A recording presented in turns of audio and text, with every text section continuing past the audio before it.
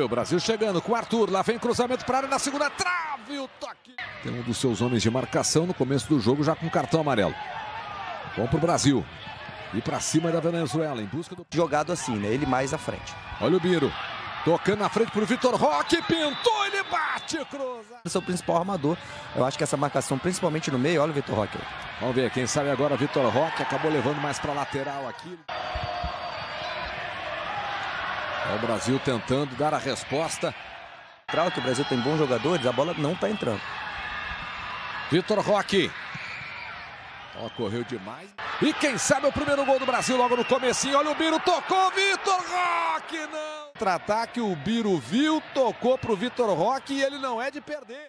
Grande nome da nossa base, não só do Corinthians, 16 anos, joga muita bola. Olha o Vitor Roque, é muito chato no melhor do sentido. Bola na frente, agora pintou!